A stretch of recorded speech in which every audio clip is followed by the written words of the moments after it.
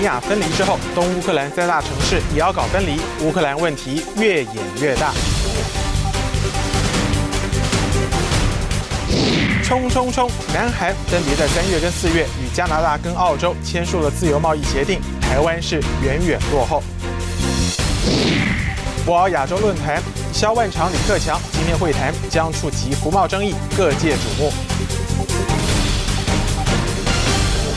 各位观众晚安，欢迎收看二零一四年四月十号的《实事求是》，带您掌握全球进行式。我是史哲维。乌克兰呢，现在越来越乱了。除了东部的地区不断的出现要求独立公投的声音，与当地的警方冲突不断。国会里面呢，议员的派系之间更是水火不容。在八号的时候，议院就发生了全武行，两方的政党是互相的指控，甚至呢还冲上了讲台，大打出手，场面混乱。一拳又一拳，像仇人一样猛打。一个国家要混乱，就会先有一个混乱的国会。乌克兰国会八日上演全武行，共产党的议员指控今年年初示威者以攻占政府大楼方式，意图推翻时任总统的亚努科维奇，让分离主义者现在也有样学样占领政府大楼。此话让极右派议员大为不满，冲上前理论，双方扭打成一团，都有议员挂彩。国会打架乱哄哄，乌克兰境内的东部地区也到处都是独立公投的亲俄示威活动。这些暴民四处占领公家单位，连电视台也挡不住暴民的闯入。顿内茨克和卢甘斯克等东南部城市政府大楼也全部被占领。Это происходит наш антимайдан, наш антимайдан, в отличие от киевского. 乌克兰随后指派大量政报警察出动进行驱离，才夺回了这些大楼，但是却也引起了周边国家的紧张。People asking questions: How were these three separate incidents in three eastern Ukrainian cities so well coordinated, so simultaneous? That's got many people asking. 乌克兰的分裂，各界都将矛头指向唯一获利者俄罗斯。北约等武装力量也出面喊话，要求俄罗斯马上住手。Notre position est très claire. Euh, les actions russes euh, en Ukraine euh, sont illégales, illégitimes. 除了北约，美国国务卿凯瑞也在国会表示，美国将进行下一波更严厉的制裁，务必要让俄罗斯总统普京停止鲸吞乌克兰的行动。但是普京却继续的保持低调，不解释，让乌克兰的情况完全让人摸不清楚。记者冯超报道。好，这两天我们现在呢，就是整理这整个情势，基本上就是继这个乌克兰南边的克里米亚半岛脱离乌克兰了以后呢，现在大部分的鄂语区的东乌克兰也陷入了动荡，然后有三个大城市的地方政府呢，一度或者是已经被亲俄的人士给攻占，而且还悬起了俄罗斯的国旗，然后呢，有一个说是要成立这个乌克兰以外的顿内刺客人民共和国，然后依克里米亚的模式来加入这个俄罗斯。对于这个发展，你你意外吗？相当意外，相当意外，快就发生。嗯哼，事实上，本来大家是在预期说这个就撑到这个新政府改选为止嘛。对，因为这个新政府俄罗斯并没有承认哦。对，然后亚努科维奇又回不去，哦，就这里就是卡住了嘛。对，因为这个核线性的问题，双方各有坚持嘛。是，所以本来就想说，如果能够撑到五月，然后就改选，那这双方争议就消失了嘛。对，那结果现在变成是在核宪宪法的危机还没有解除之前呢，哦，这个争议就出现了。对，哦，那这个就很麻烦了，因为这个很难不让人家联想到没没有俄罗斯在后面当黑手了。是因为同时有三个地方都发生这种事情。对，那而且本来就是亲俄了嘛，而且事实上也是讲俄语的。对。那这个当然也要怪新政府了，因为新政府在掌权之后，第一个事情就是把俄语作为官方语言给取消了。嗯哼，所以当然就激怒了这些人，就说你你干嘛做这个事呢？对，因为你你在经济上要亲西方，那这个各有争议嘛。可是你连这个文化认同的这种东西啊，你都要做一个表态，好像表表示说这个乌克兰族是为主的。对，那当然俄罗斯族就产生了。这个内心的恐慌嘛，对，那危机感就这个就变成是感性的东西了，嗯，就已经本来本来是经济利益的东西啊，对，那现在就加上了这个民族主义的东西了，对，所以我是觉得相当的难解了。那现在是传出就是说四方会议下礼拜要召开嘛，是。哦，就这个欧盟啦啊，然后美国、俄国、乌克兰、乌克兰啊，我认为也不会有结果，嗯哼，因为俄罗斯的筹码太多了，嗯哼，事实上俄罗斯本来的想要做的就是，我就给你涨天然气嘛。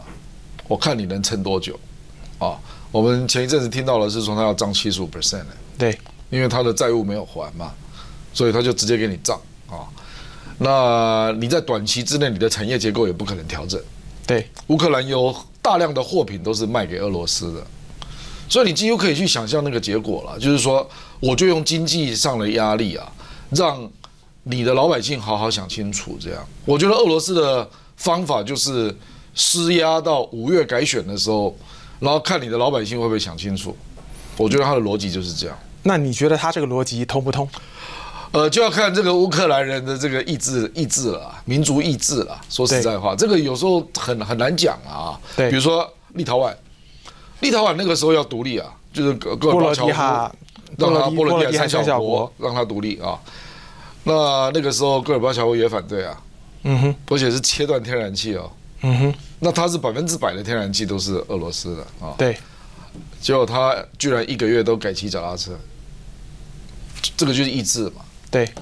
那立陶宛后来还是独立，当然这里面还是有一些节制的动作了，就是说这个戈尔巴乔夫他没有派军队进去，对，不然立陶宛也不可能独立了。说实在话啊，可是就是说在那个结构上啊，就是说因为戈尔巴乔夫他自治嘛，他没有做出军事的行动。然后立陶宛老百姓也撑一个月就撑过来了，结果公民投票百分之九十三支持独立，九十三呢，嗯哼，所以你就知道说那个地方确实民族意志是很强的啊。对，那当然这个跟他那个位置也有关呐，因为波罗的海三小国在历史上是跟北欧比较接近的，对，所以他们向来就不认为他是跟俄罗斯在一起的了哈。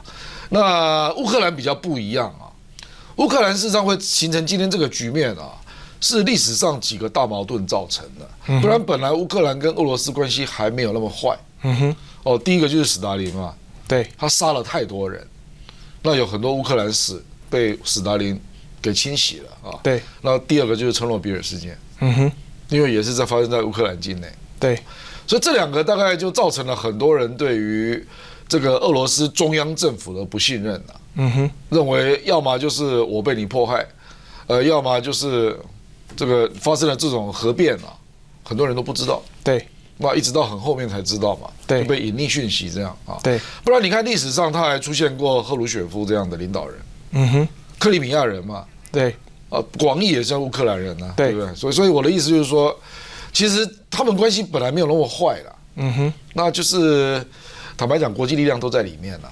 对，而现在呢，这个乌克兰呢已经少掉了克里米亚了嘛？对。那如果说东乌克兰这三个城市也是要有样，对，他没有承认，对，还没有被承认，对，还没有承认。那如果说呢，东乌克兰也要有样学样的话，那乌克兰还成一个国家吗？哦，当然不成啊！而且这次这三个大城都是很重要的城市啊。嗯哼，有几个城市人口都超过四五百万人了。对，顿内茨克。哦，那个是很大的城市，而且是煤煤矿啊，都是工业的重镇。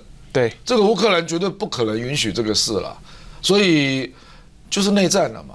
嗯，坦白讲，这个几乎就是内战的啦。嗯，所以因为乌克兰它是下通牒说四十八小时它要恢复秩序嘛，那他就立即行动了。对，那他目前是暂时，因为俄罗斯也不好介入，哦，因为你这个介入就违反国际法了嘛。嗯哼，克里米亚还有一点灰色地带了。你可以说过去在苏联时期你是。送给乌克兰啊，那你心里不甘愿啊？可是你说乌克兰的边界，那就这个就不能就不能再说有什么宪政上的争议了。对，那当然，目前的国际上就是说，如果最对境内的少数民族要由公民自觉要独立啊，那这个通常要整个国国内多数人的同意了。是，这个还是基本原则。是，否则的话，那世界就大乱了。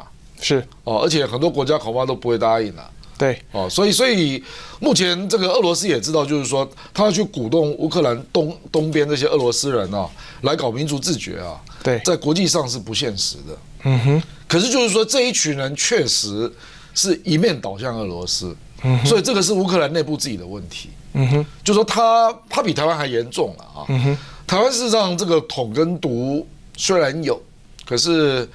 他这个还加包括种族问题啊，嗯哼，那就很麻烦了，连语言都不一样，对，哦，然后当然有这个经济上的选择了啊，那是要加入西方联盟还是俄罗斯联盟？那台湾这个问题也没那么严重，因为台湾不认为签 e c a 跟 TPP 是冲突的嘛，嗯哼，我们还是认为两个都可以做，嗯哼，可是乌克兰居然把它搞成是两个是对立的，嗯哼，哦，那这个这个逻辑就比较麻烦了。因为俄罗斯并还没有准备好要跟西方签 FTA，对，所以他不准乌克兰加入东方西方嘛，对，所以就在这里有一个巨大的经济矛盾，嗯哼，然后你乌克兰的新政府又搞出那样的事情，在文化认同上贬义俄罗斯语嘛，嗯哼，那等于是这些少数民族，他当然就觉得他被迫害啊，嗯哼，好的，而俄罗斯呢，在这个乌克兰东部的局势到底扮演什么样的角色？广告之后，我们继续讨论。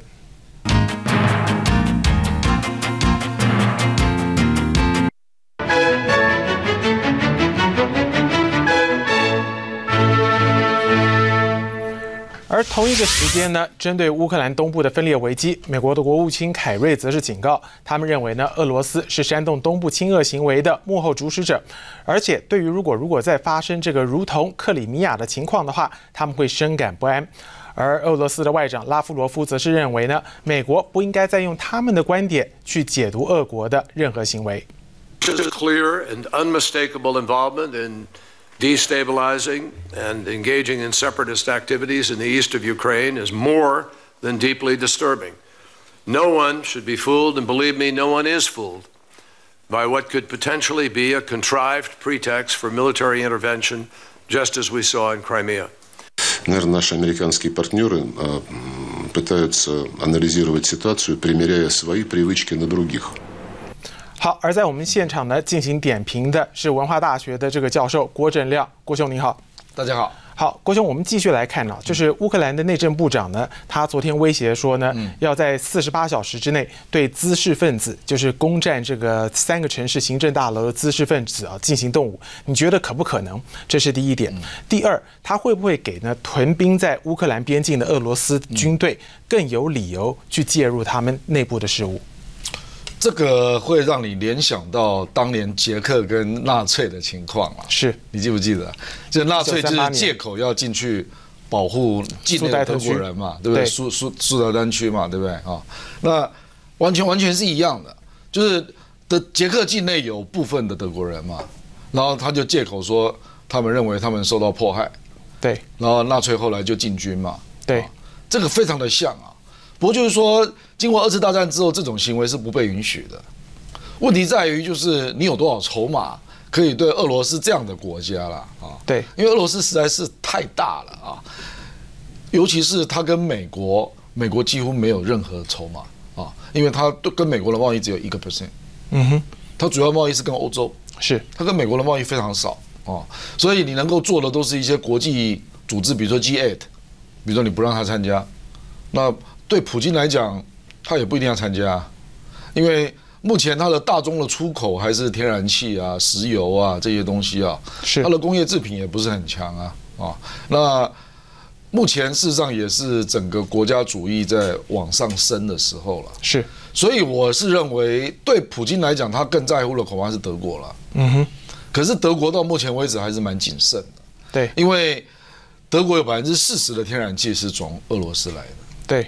所以这里面就就变得很现实了，就是说德国现在市场也想办法把它的天然气的来源更多元化。对，可是这也不是短时间内能够做到。对，它需要长时间对要慢慢转嘛。对，整整的基础建设啊等等的东西。没有错。那这个事实上，我本来就跟你讲说，这个僵局本来是大家期待是五月政府改选嘛。嗯哼。那谁赢了？那总是有正当性嘛。对，目前是就是卡在于俄罗斯不承认乌克兰这个政府，对，然后雅鲁科维奇欧洲跟美国不承认，对，现在是卡在这里啊，那当然克里米亚是另外一个问题了啊，因为克里米亚俄罗斯承认，那乌克兰新政府恐怕也不会承认，所以那个变成长期的僵局了。对，那长期的僵局就变成，事实上克里米亚也没有办法并入俄罗斯，嗯那他现在顶多就是还是目前这个状况，就黑海舰队继续待着，然后那个政府跟乌克兰的关系就变得有点尴尬。嗯哼，那这样还可以维持一段时间啊。嗯哼，那至于目前的危机，我认为俄罗斯的军队介入的可能性蛮低的了。嗯哼，所以我是认为乌克兰还是会进行霹雳行动。嗯哼，还是会把他们做适当的处理。对你刚刚提到了，就是说这个状况呢，跟一九三八年的时候，这个希特勒跟纳粹德国跟捷克是状况有点像，有点像。这就让我想到，就是俄罗斯总统普京，他前两个礼拜的时候，他在宣布接受克里米亚公投结果，而且接受他加入俄罗斯的时候，他有间接的表示，他没有直接说，他有间接的表示说，俄罗斯呢对乌克兰其余的地区并没有领土的野心。对你相不相信？呃。我可显然美国不相信嘛？对，哦，显然美国不相信，因为政治是这样嘛，就是他总是这个运动如果闹到一个程度哦，对，那国际上就必须面对了。对，哦，因为法律跟政治本来就是一个辩证关系嘛。对，那如果说乌克兰境内的百分之二十几的俄罗斯人不断的被煽动，然后就变成一个长期的内部的不安哦，那这个问题就要面对啊。对，这好像就好像比利时一样嘛。比利时实际上也有一阵子法语的跟其他语言的相处的不好啊。对，那只是说他后来用更包容的民主啊，来重新设计制度，所以比利时好不容易还维持一个国家。瑞士也是这样。嗯哼，就说西方并不是没有这种经验呐，就多民族的国家能不能在一起了啊？那如果是比利时这个，我们刚才讲比利时跟瑞士，瑞士就是比较成功的例子。对，可是那个国家还是很脆弱了啊。那只要种族主义起来，那大概又碰到矛盾了。嗯哼。那乌克兰会不会能够进入那个状态了？坦白讲，谁也不敢讲啊，因为他的民主的程度恐怕跟南斯拉夫差不多吧。嗯哼。南斯拉夫当年就是这样就崩解掉了，对不对？而且后来还发生了种族清洗。对。哦，所以所以我的意思说，乌克兰的民主也不是很上轨道了。你可以看到，包括以前那个总理，后来的总理，两个都贪污啊。对，不是吗？后来都被发现都有很严重的问题嘛。对，那都有很严重的滥权，哦，然后各有靠山，一边靠西方，一边靠俄罗斯。对，所以你说是不是可以靠自己内部来产生我们所谓的冲突的解决啦，或者僵局的一个化解啊？这个目前真的看不到。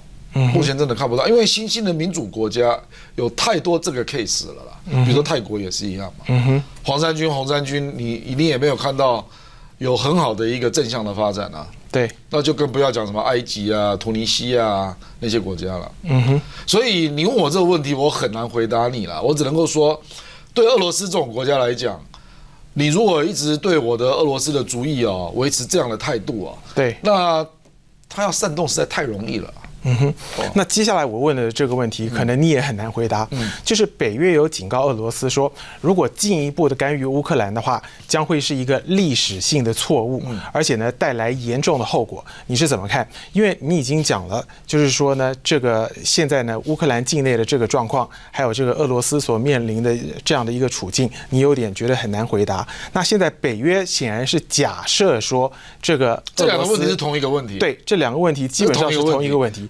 所以呢，从北约的这个警告的角度，你是怎么看？不，因为这个东西是这样了，就是说双方在较劲嘛。对，那事实上北约也是目前乌克兰政府的背后的影子啊。对，说实在话了。对，因为甚至有人说基辅那个被占领的时候，有西方的人在现场发钱呢。嗯哼，就是那个国际的力量根本都都都进都进来了啦，俄罗斯也进来了，西方的力量也进来了。嗯哼，所以本来就在较劲嘛。哦，所以你在讲，你问我这个问题，那我只能够说，因为政治有时候也是和平演变的啦。对，哦，你说，你说俄罗斯这些人会逐渐形成什么样的一个力量？比如说，他可能在下次选举的时候，然后在他的地方选举就全部排斥乌克兰人，这也有可能啊。嗯哼，我看选举必然是这个结果了。嗯哼，然后他在国会里面所选上的国会议员，就是一面倒主张独立啊。嗯哼，这个事实上英国也发生了嘛？我们不是有苏格兰民族主义党？是。那苏格兰现在还要公投要独立呢？对，那你去想一想，那个 S M P 啊，就是苏格兰民族主义党，它发展多少年了？它已经发展三十几年了。对，那到现在才开始推苏格兰独立公投，哎，对，所以你说什么样的事情会发生，很难讲啊。我我是认为这个已经注定这一群俄罗斯人，他恐怕早晚会组独立党了。OK，那我们现在回到这个克里米亚问题啊，现在克里米亚加入俄国，基本上已经是木已成舟了。对，那会不会有西方国家呢对俄国实施经济制裁以外的更多的动作呢？我觉得非常困难。嗯哼，非常的困难，因为。黑海本来就是俄罗斯的内海，对，这是它的地盘。这个我们广义讲叫门罗主义了哈，这个叫俄罗斯版的门罗主义。这个就好像加勒比海啊，你想去惹美国，你惹惹看，嗯哼，哦，那你去惹克里米亚，就好比要惹黑海吧？对，那俄罗斯的黑海舰队是绝对不会客气的，是。我认为他绝对不会手软的，嗯哼，因为如果这个地方他都失去了，那。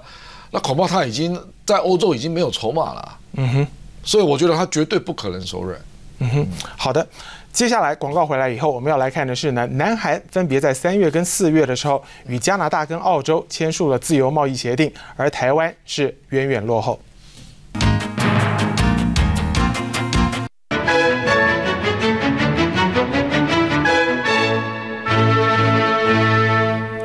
欢迎回到我们实事求是的节目现场，带您掌握全球进行式。我是史哲维。南韩呢洽签自由贸易协定，又有了重大的进展。韩澳之间的 FTA 从两千零六年开始谈判，历经了七年四个月，终于是完成签署了。预计呢年底生效之后，南韩的汽车业将会大幅的提升竞争力，可以跟日本是一较高下。而澳洲呢，卖到南韩的酒类跟农产品也会取消关税，变得更便宜。虽然这会对南韩的农民带来影响，不过放远来看的话，南韩积极的签署 FTA，零关税的覆盖率已经高达了百分之八十，而相较于台湾是百百分之九点六，这个出口的竞争力是远远的不如韩国。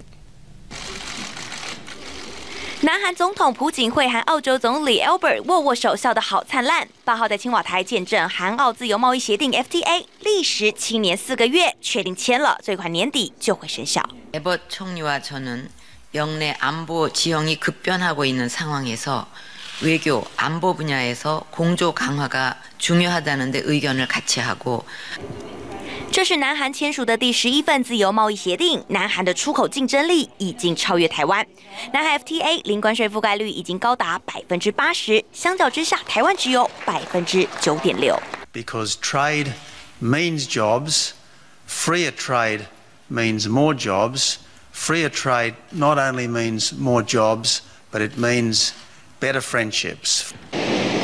为了和日本汽车业一较长短，南韩也很紧张。现在有了 FTA，南韩汽车业即将发威。三千 CC 以下的汽车、电视、冰箱、机械卖到澳洲全部免关税，三年之内所有汽车免关税，五年之内出口澳洲的产品也几乎零关税。而南韩买澳洲进口的农产品，包括酒类和五分之一的鱼都免税。The trade pack is expected to boost exports of Korean products like automobiles and televisions, but there are concerns it could pose a threat to local farmers. 换句话说，南韩用了汽车换农业，受到冲击的还有澳洲牛肉。进口韩国免关税之后，牛肉价格会降低，对消费者有利，但是也影响到了本土畜牧业。整体来说，南韩的国内生产毛儿 GDP 可以增加百分之零点一四，两国的 GDP 可以增加超过两百亿美元，也象征南韩的经济竞争。争力将会在澳洲再创另一波高峰。记者张真综合报道。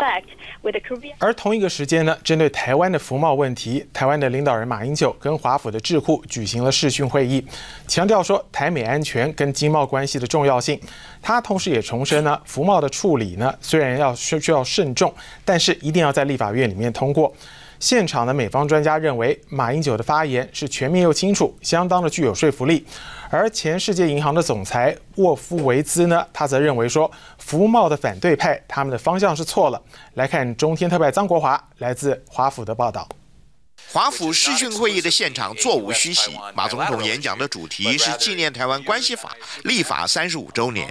不过他特别强调台美安全与经济关系，一再表达加入 TPP 的愿望。In two fronts, security and economy, we should really push a comprehensive and enduring relationship.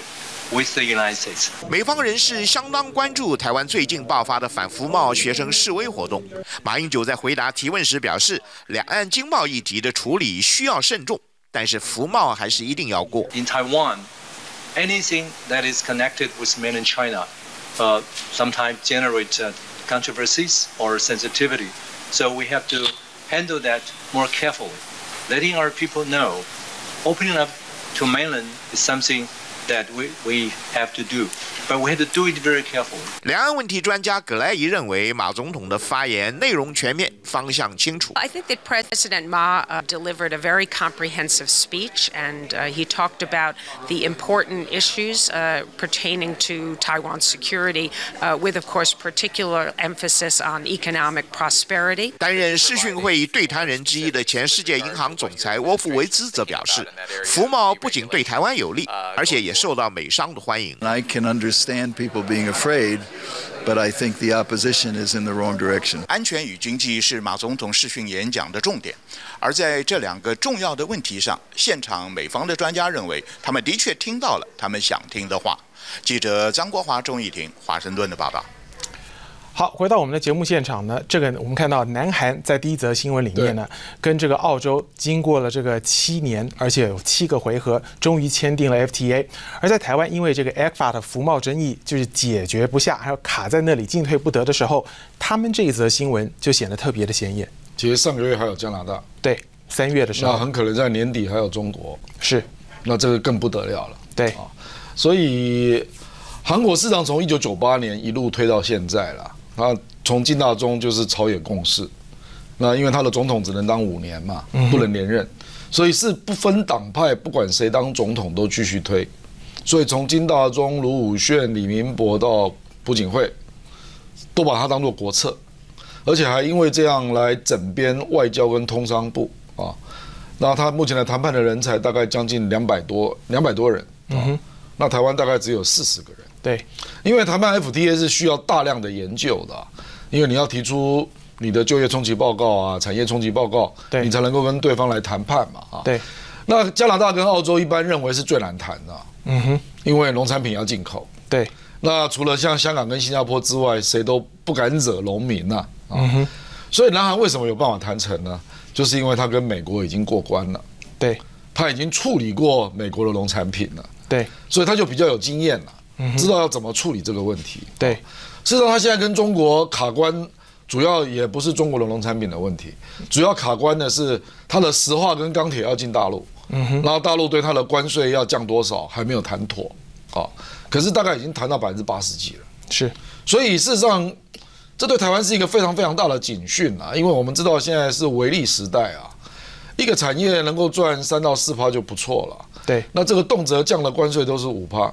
哦，比如说这次最明显就是说，韩国它选出了它的主力产品嘛，对，它就是要有助于汽车，对。哦、那这个澳洲跟加拿大大概它的汽车的关税是百分之六多啊，然后汽车零组件是八，对，那这个是太有利了，嗯，所以显然就是它用这个东西就可以跟日本竞争，对，因为日本还没有签嘛，所以它的对象一定是日本啊，然后也许还包括美国了啊，就是说。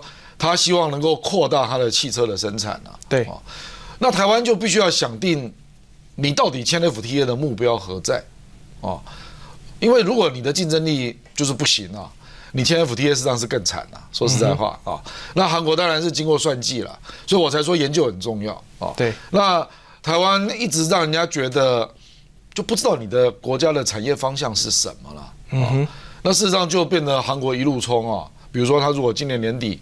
跟大陆签 FTA，那如果他得到了面板，我们说面板的这个中间产品啊，对，如果他得到这个项目的话，那大陆目前这个税大概是五个 percent，对，那台湾就会受到重击啊，对，那台湾这个重击就不得了了，因为面板在台湾的雇佣人口大概有十万人，嗯哼，然后在银行的借款就超过四千亿，对，所以你去想一想这个后果，那比如说还有汽车。比如说汽车，如果大陆也对韩韩国做让步，比如说整车出口，对，整车出口大陆的关税大概有二十几哦，对，那你去想一想，那台湾怎么办呢？你你汽车要么就要到大陆投资嘛，嗯哼，像玉龙就必须去那边跟他的东风合作，对对不对？不然你怎么你怎么办呢？另外二十几趴，你再怎么竞争也没办法。对，那我们前一阵子也传出说丰田，因为中日关系不好嘛，所以丰田想把工厂来设到台湾，经由台湾来卖到大陆。对，可前提是货贸协议。对，就是这个整车出口的关税必须要降降下来，目前是二十几趴啊。那这个投资就是一千亿，那可以在台湾产生多少就业？所以我说这些问题都是联动的啦。对，所以有人有人估计过了，就是说这个加拿大跟澳洲对台湾的冲击还没有算很大了。嗯哼，因为我们跟它的贸易额没有那么多哈。对，可是我们跟韩国出口有百分之六十三是重叠的。嗯哼，六十三哦。嗯哼，那已经很明显的是，他签了欧盟，他签了美国这两大市场，然后接下来他要签东盟，然后还有中国大陆。如果这几个地方他全部都签完了，那日本势必会受到很大的压力。是，所以中日韩 FTA 很可能就会在这个情况之下加速完成。嗯哼，就中国是先联合韩国嘛，来逼日本嘛。对。那这样台湾就完蛋了。我我坦白讲，真的是完蛋了，因为我们现在出口有百分之四十到中国大陆，然后有百分之二十四到东协，对，然后有百分之十一是到美国，对，然后大概有百分之十五左右是到欧盟，对。那你怎么跟韩国打呢？嗯哼，这是很现实的问题了。嗯哼，因为就是很简单，尤其是货贸了，我们不讲服贸了啊。服贸市场对台湾冲击没那么大啊，它事实上产生的好处也没那么多。嗯可是问题是它联动货贸。是，那目前因为是这个气氛嘛，所以货贸有点都停止了。对，那这个对台湾伤害是非常非常大的。对，嗯，而我们在这个看到这个，呃，韩国啊跟这个澳大利亚他们在谈判一开始的时候，有就一个问题叫做 ISD，就是投资争端解决机制。这个东西卡在那边，而且一卡就是个一两年。嗯，能不能告诉我们什么叫做 ISD 投资争端解决机制？我们知道它叫做 Investor State Dispute Settlement。然后呢，它是基本上是要保护这个南韩的产业，在跟这个呃澳大利亚的政府就是发生了争议的时候，它能够受到保障。那这样的一个机制，它有什么特别的地方？在一般的 FTA 里面，它都是存在的吗？这个我们的 A 克法里面也有这个项目了，对，哦、就是争端解决机制嘛啊。那通常这个可能会，比如说牵涉到了那个，比如仲裁法院要在哪里指指定了、啊，要在哪里举行了啊？是，因为这个会影响到整个仲裁的程序。对啊，那我们跟大陆事实上也在敲这个问题。对，因为如果是在大陆内部，我们这边不能接受啊。对，那到台湾他也不能接受啊，那怎么办呢？啊？那韩国一定也会炒这个问题了啊，因为你可以看到，像韩国三星只要跟苹果打官司，那只要在美国里面的所管辖的法院打官司，那一定是对你不利的。嗯哼，啊，所以他势必第一个就是争取这个管辖法院了。嗯哼，啊，管辖法院，然后那个程序如何进行呢？是啊，那另外可能还包括有一些项目，它不一定是透过这种程序来解决了，因为这个叫仲裁了。对。那这个已经走到法院去了。对，那有一些可能是透过什么样的行政程序？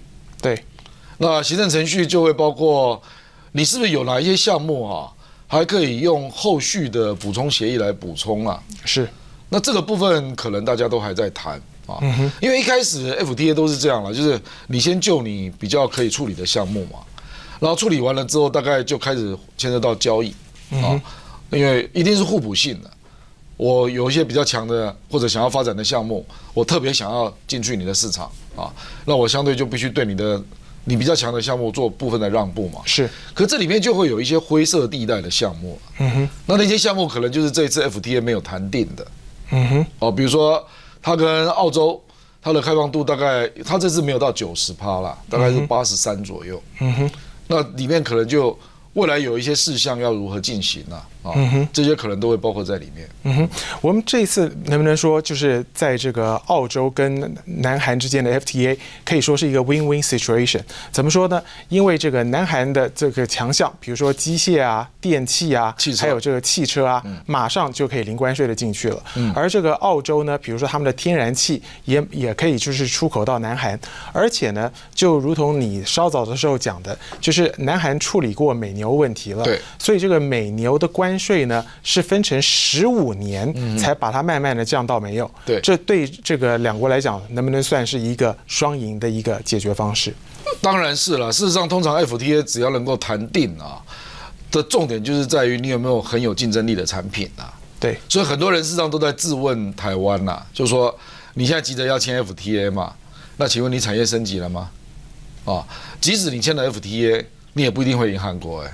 嗯哼，就是假设我们现在，我们当然没有 FTA 是更输韩国了。对，可是假设说我们到中国大陆，我们跟韩国同样都有 FTA 啊，那你能赢韩国吗？因为事实上韩国现在跟大陆也还没签哦。对，可是韩国的产品在中国的市占率啊，现在已经在九点二到九点四 percent 左右。对，那台湾已经降到七趴了。嗯哼，我们是从八点六一路下降。嗯哼，现在都没有 FTA 啊。对，那为什么它在往上走呢？那为什么你往下走呢？就是所以我的意思说，经济不是只有关税问题啦，对，更核心的是你有没有竞争力。啊，那所以为什么你刚刚讲到了，就是说韩国为什么一下子就可以找到它的我们讲拳头产品，汽车，因为它的关键产业的设定是很清楚的，对，它就是汽车、钢铁、石化，嗯这就是它要的，它几乎针对所有的国家都是这样了，或者是机械啊，那尤其是汽车啊，因为汽车可以带动很多周边的产业啊，是，那它的产值很大嘛，是，那台湾有没有这样的产业？嗯哼，恐怕台湾是没有这样的产业。嗯哼。比如说对台湾来讲最有利的是工具机，可对不起啊，它产值不是很大。对，就说它对于带动你整个经济啊，对，那可能只是其中一个项目了。嗯所以，我台湾真的要反省的是这个问题了，嗯就是说，你真的以后，即使你都谈定了 FTA 啊，啊，我们没有谈定是很劣势了。嗯哼，谈定了，你就可以打败韩国吗？不见得，不见得。好的，广告之后，我们接下来看的是博鳌亚洲论坛呢，肖万长跟李克强今天进行会谈，将会触及服贸争议，各界瞩目。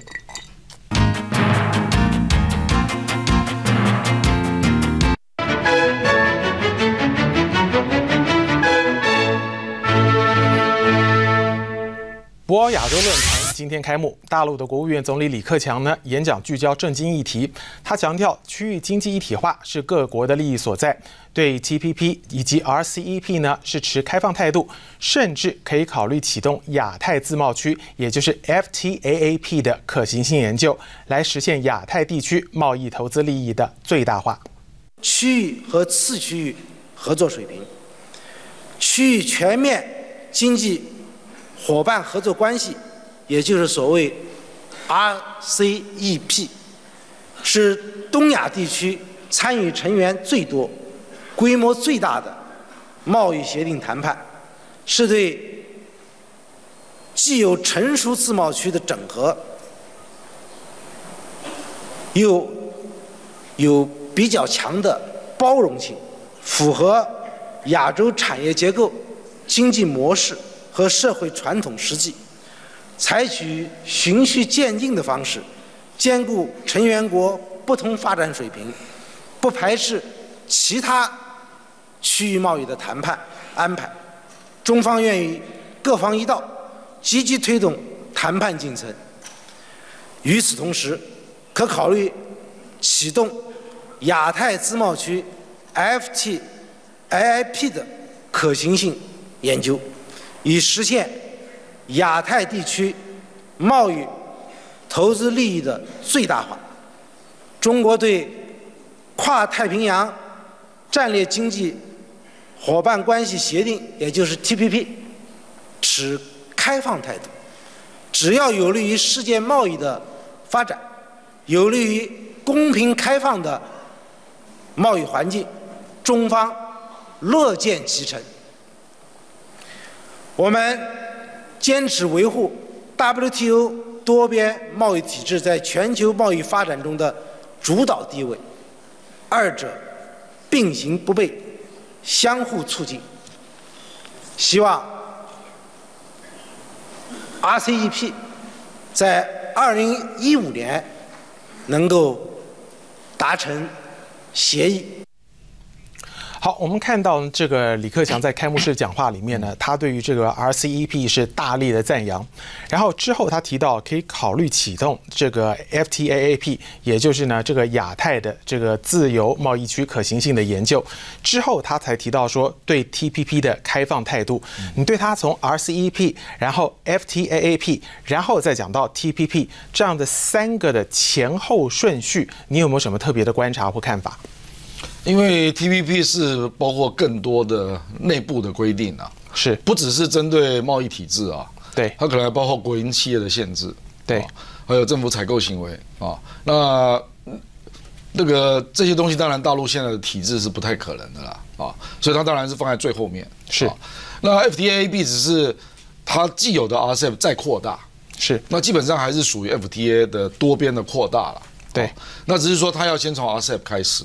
啊，所以这个是可以理解的啦，就是先从 RCEP 开始，东盟加三嘛，对，然后扩大为整个亚太地区嘛，对，然后接下来再针对你对于我内部的一些特别的体制啊，对，对我有所要求的，那他也许认为那个时间可能更远啊，比如说恐怕要五六年以后，对，甚至可能要十年以后。对，那那个时候他的国营体制可能也改变的差不多了。对，那那个时候大陆要参加可能性就高一点。是，所以这个是完全合乎逻辑的。不过就是说，他这里讲了一个态度是很重要，就是说他对 TPP 并不敌视的，是持开放的态度。对对，因为很多人，事实上大陆也有很多学者啦，认为 TPP 就是要来包夹大陆的啊，是，他是基本上在中国这个周边的一些国家。要把这些国家都纳进一个新的经济体制，对，然后采取比较高度的开放啊，还有内部的一些自由经济体制的要求，对，用这样来跟中国大陆做区别啊。那本来大陆对这个是有点防防范心呐，啊是。那现在表示他已经看开了了啊。嗯哼。那我觉得这个看开事实上是一件好事啊，就表示就是说，他对于他的对外开放的持续的不断的发展，他是有自信的。是，那这个跟十八大，还有上海自贸区这逻辑是一致的。嗯哼，啊，那我觉得在这里表达这个意向，就表达说这条路还是长期，至少十到二十年都会是大陆要走的路啊。嗯哼那这个当然是一个好的消息啊。那第二个就是他对于他的经济竞争力是有信心的。对，所以他不怕。对，哦，所以对于这个事实上自由贸易本来就对比较有竞争力的国家有利了。是，哦，所以对德国有利嘛。哦，对南韩有利嘛？哦，对美国有利嘛？哦，那就是说，你你如果对自己的产业结构有信心，你当然就不怕嘛。嗯。因为像中国那么大的国家啊，当他跟人家签自由贸易，他扩大市场啊，那即使外资要进来，那他不怕你竞争啊。嗯。那就表示他的产业的多元结构已经形成了。对。那也有相当的竞争力，它并不怕。这样的一种开放的竞争，我们把这个议题稍微缩小一点，就是对于台湾来讲的话，马政府一直是想把这个加入 RCEP 还有 TPP 当做是一个高度优先的项目。对，那么当然了，在没有这个中国大陆的默许之下。要加入这两个自贸协议，基本上是不可能是缘木求鱼的事情。所以听到了李克强对 TPP 采取一个开放的态度，而不像是一般我们所听到的，在大陆的舆论或者是一些专家的见解，认为 TPP 呢是要拒这个中国于其强门之外。对这样的一个态度来讲的话，这对台湾可不可以说是一个比较令人振奋的消息？这个参加有具体的程序了啊，是因为目前 TPP 成员有十二个啊，对，那里面有六个跟大陆是第一贸易国家，那另外六个是第二贸易国家啊，所以大陆虽然没在里面啊，可是依照程序，台湾必须要取得十二个国家的同时同意啊，是。是共视觉，对，所以中国大陆坦白说，他要在里面制造你的压力是非常容易的，对。啊，因为有六个国家是他第一大贸易国嘛。那你要不要尊重大陆的意见？啊？比如说我随便讲好了，比如说我们的服贸，我们的服贸开放度只有六十五趴，哎，嗯哼，结果谈成这个样子啊。那你后面的货贸，坦白讲了，我们有八千项啊，都还没谈。那以目前大家这种戒慎恐惧的心理啊，我们的货贸我估计开放度也不会超过百分之八十。嗯哼，那跟韩国怎么比呢？韩国都是九十啊。对，那你这些这个戒慎恐惧的心理，就变成就是说，比如说大陆，他如果要去影响这个 T P P 里面的国家啦，啊，比如说他要去影响越南，他要去影响智利，他要去影响韩国，那是很容易的事啊。那只要这三个国家说我们对台湾跟大陆的不够开放有意见，嗯哼，那台湾就卡住了，嗯哼，那更不要说 RCEP 了啊，因为 RCEP 中国的主导性更大，对，哦，因为事实上就是他主导的嘛，而且是因为他让利才签得出来，好，那里面有更多国家是他完全可以掌握的了，比如说柬埔寨，对，哦，他如果要让柬埔寨讲一些话，那台湾也没有办法啊，嗯哼，对不对？那 RCEP 的程序参与的程序跟 TPP 完全一样，嗯哼，就是你晚到的国家就要经过已经到的国家全部都要同意，嗯哼，而且要一国一国谈，对，哦，所以就你你那么晚才开始嘛，所以你现在就吃到苦头了。就是越晚进来的国家，你的开放度就必须越高。嗯哼。而我们现在再换到另外一个话题，就是这一次呢，这个李克强跟台湾的代表，也就是萧万长这样举行会晤。对。那毫无疑问的，就是这一次呢，受到影响的这个服贸协议，一定会被在这个不管是在开门的会议，或者是闭门的会议里面会被提到。那你预期他们会谈些什么？能谈得出什么一个定调定性的说法吗？我认为不会。因为事实上见面的时间只有三十分钟。嗯哼，事实上萧万长这次去是谈两个议题了，是。倒不一定是服贸了，对，他是谈第一个是两岸产业合作，对，因为我们有很多产业事实上跟大陆已经是竞争关系了，对，那我们希望能够从竞争关系能够变成是一种比较互补或者是合作的关系。啊。那第二个就是区域经济参参与的问题了，对，就你刚刚讲的 RCEP 啊，对。萧万长主要是要谈这两个议题了。那我认为这两个议题三十分钟恐怕都已经不够了。嗯哼。那因为福茂目前大陆已经表态了嘛，事实上大陆国台办都已经讲了，说是那是台湾内部的因素。对。那大陆并没有改变态度，对，还是希望跟台湾能够让福茂能够如效如期的生效了。对。所以我认为大陆不会介入台湾的福茂争议了。嗯哼。他顶多只是说，哎。那台湾自己内部会自行解决，嗯哼，那就看立法院六月、七月有没有过啊？嗯哼，那六月、七月如果过了，他才跟你谈货贸啊？嗯哼。所以我认为不会谈服贸了，嗯哼，因为太敏感了。那您认为呢？就是有这个媒体报道认为啊，这个萧万长可能会私下提到这个所谓的陆客中转的问题。对对对。那你觉得这个陆客中转的问题对台湾有多重要？非常重要。而且呢，它在这个里面会被具体提到的可能性有多大？因为我们台客在大陆是中转的，对。那陆客到台湾却不能中转。那陆客到台湾去年已经有两百五十八万人。那事实上，他们很多人是愿意从台湾到第三国，所以这个会造成很大的商机啊。对，对我们的航空业啊。对。不过因为这个问题太小了啦，所以萧万长是不是会提到这么细节啊？我们真的很难想象啊，而且是跟总理提。嗯哼。可能就是他周边的人吧，可能会跟他的幕僚啦提到这个议题了。可是你说当面提这么小的议题，是有点奇怪。好的，今天非常感谢文化大学的教授郭正亮到我们的节目上来做精辟的点评，实事求是带您掌握全球进行式。我是史哲维，我们再会。